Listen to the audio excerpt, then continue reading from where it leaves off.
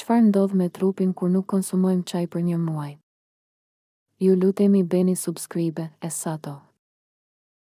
Një gjë që i bashkon indianët anembanë globit është dashuria e tyre për çajin. Nëse nuk mund të jetoni pa filxhanin tuaj të përditshëm të çajit, nuk jeni vetëm. Për shumë prej nesh, çaji është mënyra jonë e preferuar për të nisur ditën dhe për të na dhënë energjinë e nevojshme për të përballuar një ditë të gjatë në punë. Ndonëse nuk është e dëmshme të pini një filxhan çaj herë pas here, konsumimi i tepërt i tij mund të çojë në komplikime shëndetësore afatgjata. Në një skenar të tillë, a është e këshillueshme që çaji të hiqet plotësisht nga dieta jonë? Për më tepër, çfarë ndryshimesh mund të ndodhin në trup nëse heqim dorë nga çaji për një muaj? Për t'iu përgjigjur të gjitha këtyre pyetjeve, Indian Express ka folur me ekspertë për të zbuluar. Përfitimet e mundshme të një diete pa çaj Sipas Richa Anand, kryedietologe në Spitalin Dr. LH Hiranandani në Powai, Mumbai, efektet e lënies së çajit për një muaj mund të rezultojnë në ndryshime të shëndetshme në trup, siç është marrja e reduktuar e kafeinës, e cila mund të ndihmojë në gjumë të shëndoshë dhe të përmirësuar dhe më pak ankth. Disavantazhet e heqjes së çajit nga dieta juaj. Për disa individë, konsumimi i çajit u jep rehati dhe relaksim, kështu që sipas Anand, lënia e tij mund të çojë në ndryshime psikologjike si humbja e rehatisë dhe kënaqësisë.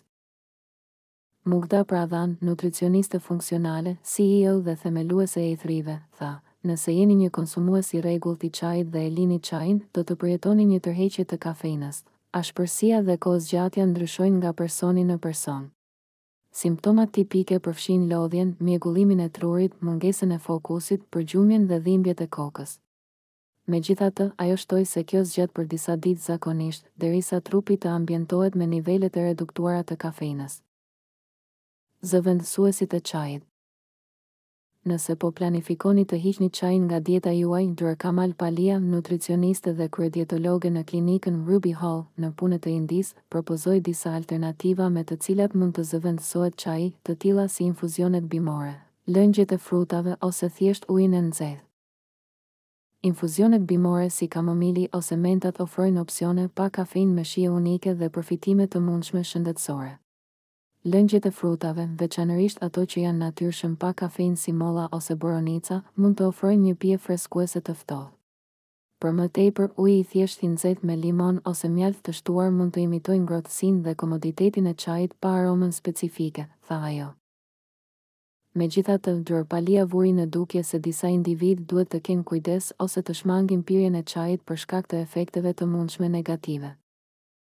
Njerëzit me stomak të ndjeshëm ose me refluks acidi mund të përjetojnë simptoma të përkeqësuara për shkak të kafeinës dhe taninave në çaj.